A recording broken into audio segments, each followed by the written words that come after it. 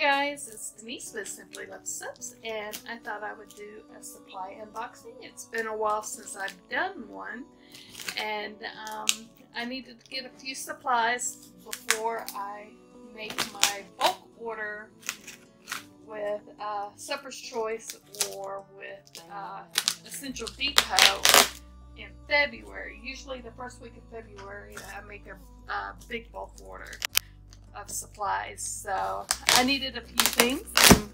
I thought I would get a few things from Wholesale Supplies Plus while waiting for the first week of February to get here. So, let's see. If I get it open. I hope y'all are having a good day.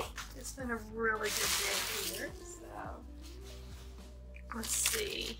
I really don't remember too much. I got rice bran oil. Some more rice bran oil. This one does not look as dark as what they have been sending when I started going elsewhere for my rice bran oil. Um, oh, yes, I ordered uh, some round molds. Um, I've had someone to ask for bigger sizes in my coconut oils or my coconut soap.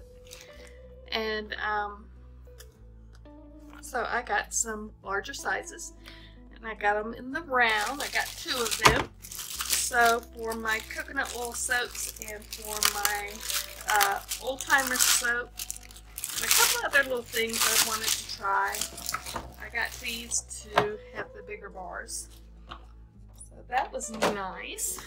Let's see. I just got one thing of lye because I have to get my, I like getting my lye from um, Essential Depot.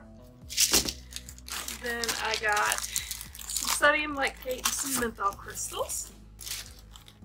Um, coconut oil.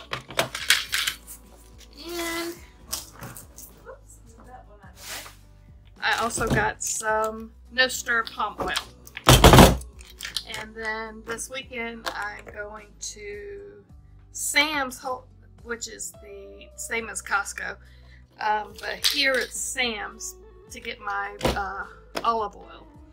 So just a little bitty unboxing. Thank you so much. God bless.